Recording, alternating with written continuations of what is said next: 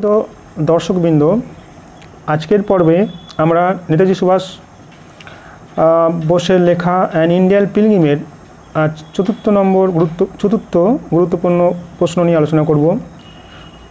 প্রশ্নটা দেখে নেওয়া যাক। What proposal did Bose's father make to him what did Bose's friends think about the proposal marks ছয় six এটা term and examination December fifteen এবং June দু হাজার ষোলোতে পড়েছিল আনসারটি হচ্ছে Subhash Bose's father propose to Subhash that he should go to England for the Indian civil service if Subhash agreed he should start as soon as possible. He was given 24 hours to make up his mind. Second পর্ব second part when he consulted the group regarding his proposed journey to England, they threw, threw cold water on the project. They thought obviously the proposal was not a noble one.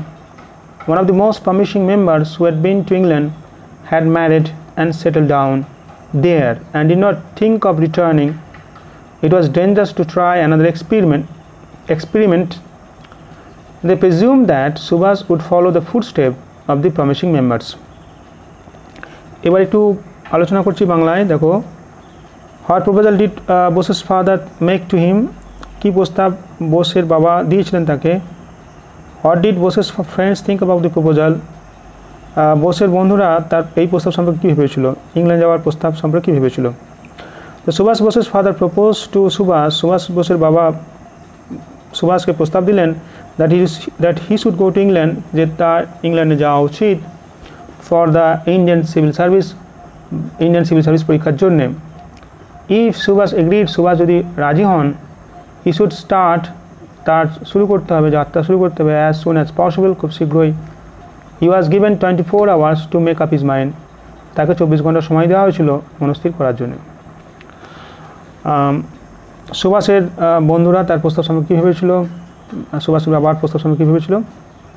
When he consulted the group regarding his propose journey to England যখন তিনি তার গ্রুপের সঙ্গে, তার বন্ধু দলের সঙ্গে তার প্রস্তাবিত যাত্রা নিয়ে আলোচনা করলেন they threw cold water on the project তারা তার এই তার প্রজেক্টের এই যে যে যাওয়ার যে পরিকল্পনা তে ঠান্ডা জল ঢেলে দিলেন অর্থাৎ তাকে অনু- অনুৎসাহিত করলেন।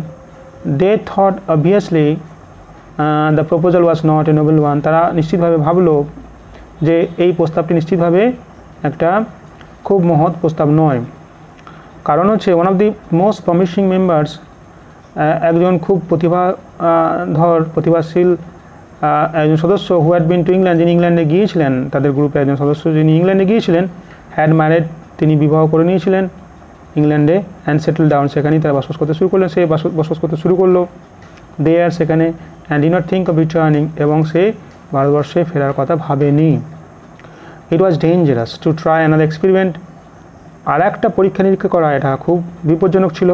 আর একটি পরীক্ষা নিরীক্ষা খুবই বিপজ্জনক ছিল। দে প্রিজিউমড তারা এটা ভেবে নিল অনুমান করল that Subhash would follow the foot step of the promising member যে সুভাষ এই প্রতিভা প্রতিভাধর এই সদস্যের পদাঙ্ক অনুসরণ করবে। তারা এটা আশঙ্কা করছিল বা তারা এটাকে অনুমান করছিল।